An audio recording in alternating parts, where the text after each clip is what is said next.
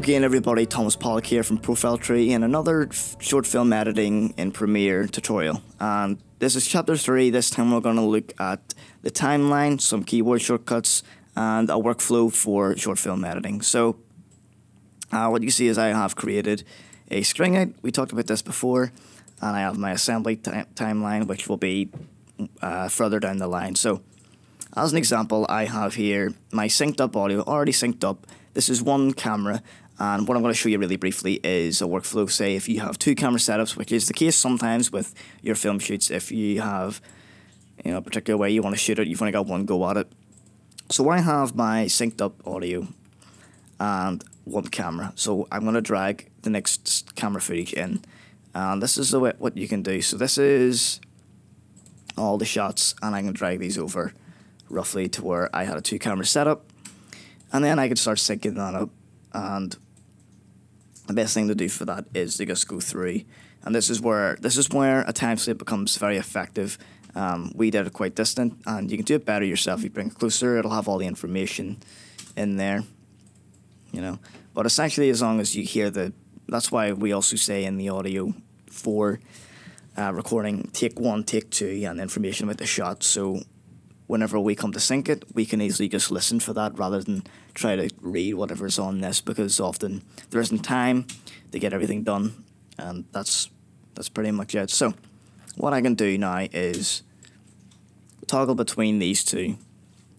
Just place that to fit. So what I can do is try to find the area that that's happening, and it becomes a little bit difficult. So you just go through and that is where, so that's where on that clip the audio syncs. And you can use markers here too if you want. I don't usually, but say that, say I know, right, so we know where the clack is. It's on that marker, and now I can look for the, the, the, the clack in this one, which is right there. So what I can do is bring that over and line it up with my arrow, and that means now this will be in, this will be in sync so you're able to toggle between the tracks like so. You can mute your audio tracks here again or hit solo for your good audio. So now when I'm doing this I can look at both clips from the two angles.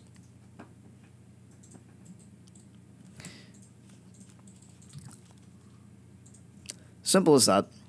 Um, so yeah, you can do that and sync up lots of stuff. I'll just sync up that one just for now, and that's one way you can have your workflow. So in the last episode, we talked about markers and how you can use them to effectively help yourself when it comes to editing notes and stuff.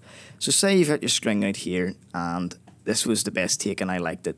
So here are some keyboard shortcuts on how to use the timeline a bit better. As you can see, you've got all these different settings. So over here, you got like things like the type tool, um, hand tool, pen tool, slip tool, razor, ripple edit, and your selection tool. And this is where keyboard shortcuts come in, come in handy for when you're going to trim footage. So say I wanted to use, so we know video 2 is my second camera. So I'll toggle that off because I don't want to use that right now. I want to use this stuff. Uh, if I hit C or go over to here, the razor tool, this is how you create cuts. And I can simply click there and then click over here. And as you can see, I have not linked my my audio.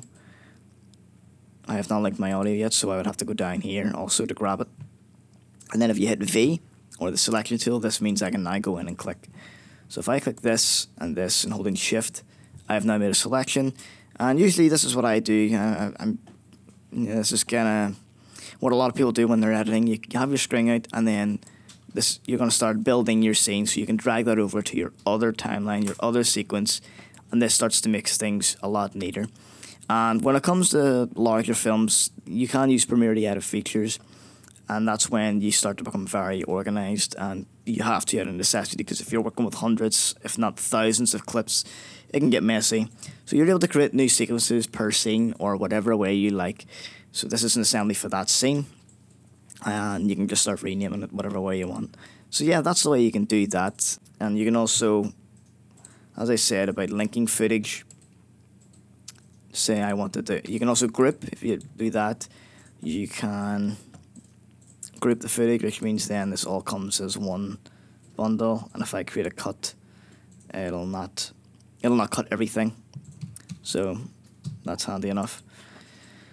But uh, I'm not going to group that. So other stuff to know in the timeline to speed your life up is we, we did talk about what you can do here. You've got if you right click, you know you can go to you can create a mark in, mark out that way also. You've got those settings right here though.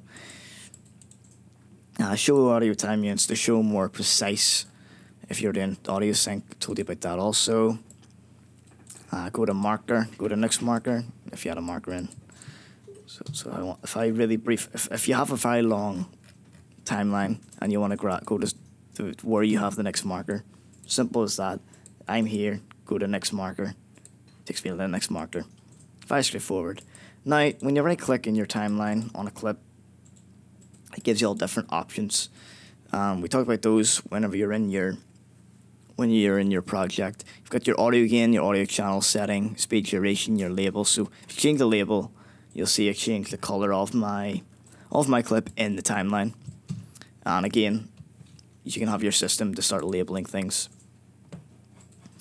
Uh, other settings that you have is frame hold options that actually lets you just like do a freeze frame on a certain frame. Um, then you've got interpolation options, which I'll not get into too much, but if you, you might know what this is if you're having problems with your footage, if, if it happens to have lots of lines in it, it's because of the interlacing, uh, the interpolation. Well, this is a little different. This is frame sampling. You're able to change the motion blur essentially between frames. So don't touch that. You don't need to touch that. Then you're able to make the sub clip, and I'll show you briefly what you can do with that. So say there's a certain clip I want to use uh, for this. If I just wanted to get rid of that clackerboard altogether, this is the same clip. What I can do now is make a sub clip, and you know, I can name this too. I don't know, shot one. I know it's not shot one, but if the, just for namesake, that is now going to pop up in in here as shot one. So yeah, simple as that. It's making other clips out of what you have, which can be helpful in any situation if you were just wanting to cut around stuff. But uh, other settings that we have include nesting sequences and making a subsequence. Uh, and a subsequence, it, is, it just makes a new sequence. So that's, again, that's how you can divide things up. There's multiple ways to do all this stuff. Because you can also another very helpful one is when it comes towards the end of the edit say you have your assembly and you have a couple of clips together. So uh, let's say I have all this stuff and that's my edit that's my short film edit right here uh, for one scene. If I hit out and in that's my in and out point what I can do is once I've done this is you do this towards the end of your workflow whenever you've done your sign and your color uh, there's certain steps that you take. Once you have your assembly and your picture lock, they will call it, as soon as you know that's exactly what you want, then you can start going into the audio and the picture, uh, color correction, color grading. But we're able to nest the sequence, and this can make it one, uh, one whole sequence. To so say that was my first scene. As you can see, what that's done with the video, but not not the audio, but just the video. It's made the video all one clip. So this means, for instance, if I want to color correct that one sequence, I can now drag that over. Uh, but another way you can do that without having to nest a sequence is adjustment layers. And I'll get into that once I show you one more thing with the sequences. Another thing you can do is say that assembly's done. Um, you can go in and grab it from your project folder and new sequence from clip and that turns that assembly into one clip for both the audio and the video. And again, it makes it a lot neater to look at down the line. So, another thing we can do, uh, another thing we can create is, so new item, you can create a new sequence, a new adjustment layer, black video, exactly what it is, bars and tone, it's those colors on the screen that makes a, the beep sound, like when your TV's broke or something like that. Uh, transparent video, HD bars and tone. So, adjustment layer are very, very helpful. I don't use them much myself, but they can be very, very helpful. So for, in for instance, if I wanted a preset color correction to go over a certain amount of space, I can add that to my adjustment layer instead. So I'll bring up the color correction real quick uh, as an example, or if it was an effect, for example. Say I did this. Okay, I've made my footage a bit darker. I've changed the tones. This is now the adjustment layer doing the work. So if I toggle the track that it's on, it turns it on. So you're able to do that. And that can become helpful when you have a lot of clips and you're wanting to uh, also maybe preview a lot of different styles. You can just put them above, have loads of different ones, and then toggle between certain looks. So yeah, that's very helpful. Another thing I'll look at is just using the different tracks that you have. And as I showed you before, you're able to scroll up and down to make them bigger. I'll bring that up. So I'll use the editing workspace. So you're able to do that. I'll just make this smaller, make my normal audio bigger. So toggling tracks can come in handy when you come to adding more stuff into your footage and you don't want to mess it up. So yeah, watch this. So if you're copy and pasting stuff, for instance, if you have a frame that you're wanting to have repeated, so I'm going to choose this little clip here. So if I hit Control C and then say I want to have this play over here somewhere, Control V. Now that's been toggled to, to overwrite, but say I wanted that up here instead, not to overwrite anything. Um, this can be this is usually whenever you're doing sound effects, I would say this is very helpful. So what I can do is, over here, these are the tracks that are being targeted. And if I take that away, and I target this track instead, um, when I come to hit Control V, it adds it there. But as you can see, the audio layer is still targeted as the same. You can change that. So if I selected, so A2, V2, bang, you can see that it is now uh, adding it to there instead. And another helpful thing is when you come to moving clips around towards the end of your edit, you have a lot of footage, and say you want to go back and make something a second longer or a second shorter, but you don't want to, or you want to add another clip in, and you don't want to overwrite. What you can do is you can hold in Control, and then that shifts it all aside. But yeah, so you can see that. And another thing is Say you want to extend the length of that clip.